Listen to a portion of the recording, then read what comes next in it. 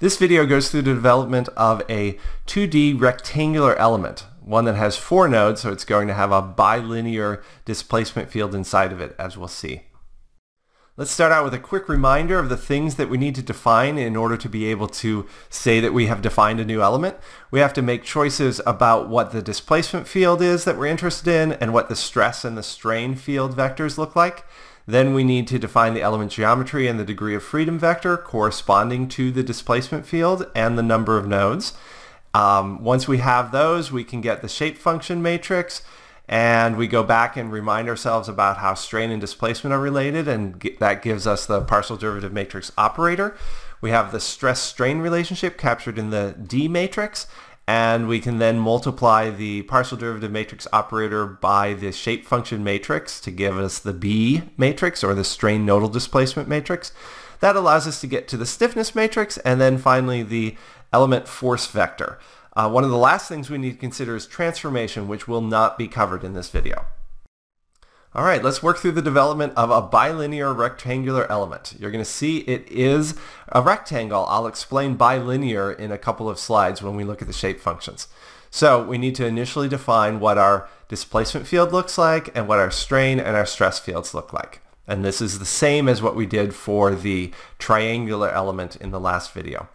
So now we look at the element geometry. I've got a rectangle defined here, and it's got um, a, a local axis, x prime, y prime axis, and then the nodes, I've chosen the x prime, y prime axis in the middle. This is not the only way I could have defined this element. Obviously, I could have centered it down on the node 1 here. But this uh, makes it a little bit more clear how I'm balancing things left to right and top to bottom. So this is the more preferred uh, elemental coordinate system to be using for the rectangular element. So you can see that my uh, width of my element is 2b and my height is 2 times h. And I've got the node numbers there.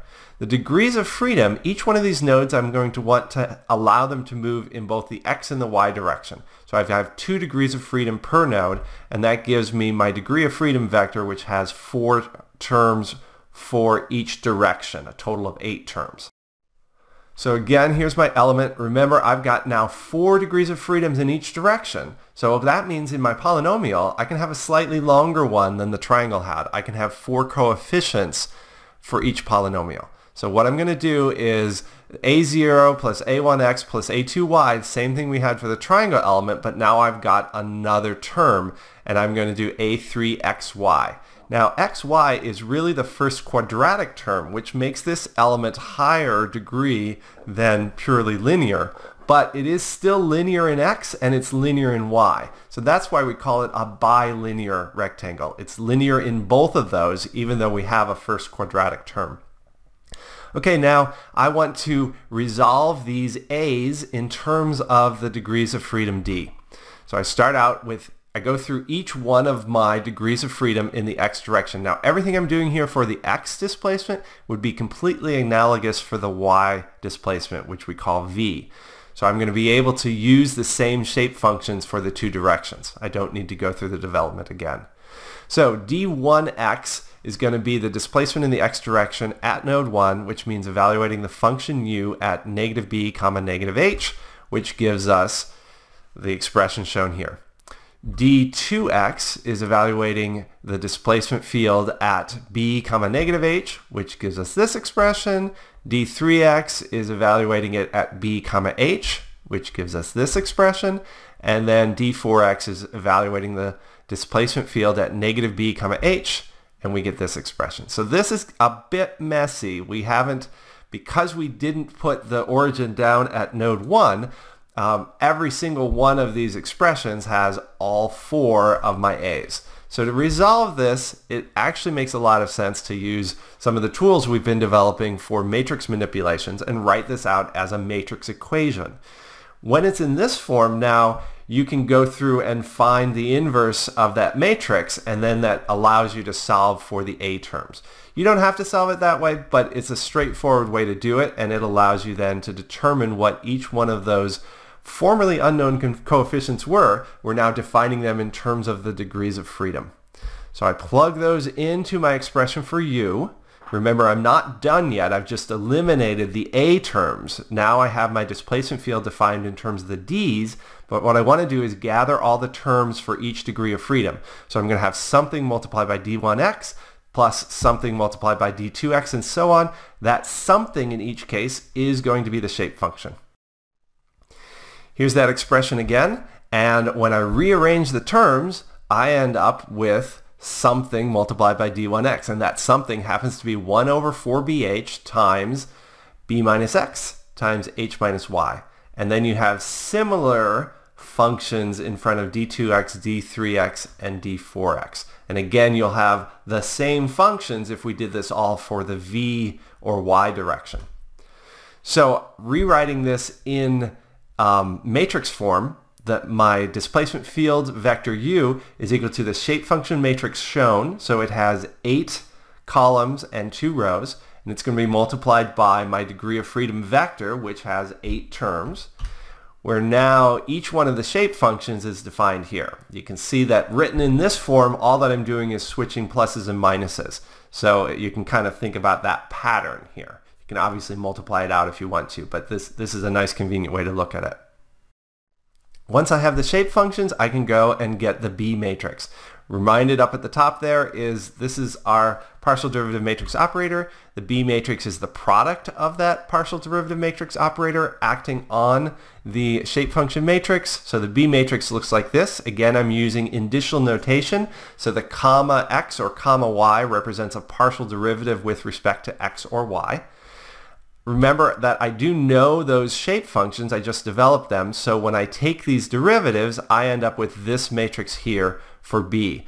Now one thing to note here, unlike the um, linear triangle that we just developed, the three-noded one, because I've got that bilinear term, the B matrix actually depends on x and y. That means I have a linear variation of strain in the bilinear rectangle element, whereas in the triangle I had a constant strain throughout the whole thing.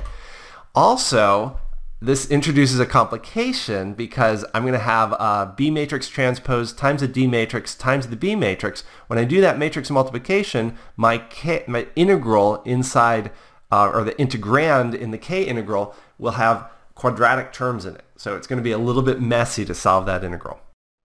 Now I'm not going to find the um, stiffness matrix for this bilinear rectangle element because this element is um, pretty specialty. It, it, requires this shape and what we really want is a more um, an element that we can transform into different shapes and so I will discuss what we do in a later video when I look at transformation. But I'm going to jump forward and the other use of the B matrix that we just found is that we can evaluate the strain inside the element. So I'm going to use the B matrix to evaluate the strain at particular locations inside the element. First of all, what we want to do is take the B matrix and evaluate it at a given position. Because remember, strain varies throughout the element. I need to choose where to evaluate this matrix. So I'm going to choose two locations. If we look at the element center, that means we're evaluating it where um, x and y are both equal to 0. And that gives me this matrix. Now, of course, it's a constant because I'm evaluating it at a specific point. I haven't changed the B matrix to a constant matrix. I've just evaluated it somewhere. I'm also going to evaluate it in node 1, which is the lower left corner. And that gives me this matrix. So now let's use these to find the strain. Okay, so we're going to look at a particular displacement field and see what happens. I'm going to look at pure bending. So when pure bending happens, I've got this rectangle and it's going to get squeezed on one side and stretched on the other. That's how this can represent bending. So it turns into a trapezoid. So for example, if I say that the amount that each corner is squeezed in at the top is equal to the same amount that they're squeezed out at the bottom, that would be the pure bending case. So that gives me actually my displacement field. There are no changes in the y direction, but in the x terms, I've got uh, minus a for d1x, a plus a for d2x, and so on. So that gives me my degree of freedom vector. This would be after the solution. So I've found a k, I've inverted the k, I've solved for this displacement field. So now to post-process, we'll use that d to go to the strain. So back to the B matrix that we evaluated at the element center. If I take this B matrix and I multiply it by the D matrix there, I get, I'm sorry, the d vector, the degree of freedom vector, I get the strain. And that multiplication looks like what's shown here, and it ends up with zero strain at the middle. That's what we would expect. There is no strain on the neutral axis for pure beam bending. And that's what's predicted by the theory, and the FE predicts that. That's great. So let's take a look at what happens when we consider node 1. I evaluate B at node 1, and I got this matrix. Now I take this B matrix, multiply it by the D vector above, and evaluate the strain from there. So when I do the matrix multiplication, I get this expression, which simplifies to A over BH times H0B. So I've got a term in the epsilon x location, and I've got a term in the gamma xy location. Epsilon x ends up being equal to A over B, which is what we would expect. That is the bending strain along that bottom edge, and it's positive because we're stretching the bottom edge. But I also picked up a gamma xy term, which is A divided by H. That's unexpected. In pure bending, we don't have shear strain. Shear strain only gets introduced by the shear force, and I don't have one here. This is just pure bending. So as a result, what I've ha what what happens is some of the bending energy gets absorbed in this unexpected shear strain, and so we get less deflection of the beam if it's modeled by this element than we would get in reality. This is something that's called shear locking.